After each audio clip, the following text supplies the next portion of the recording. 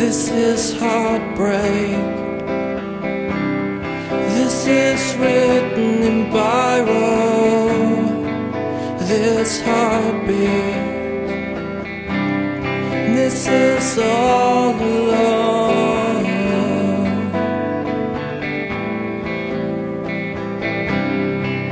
And next year when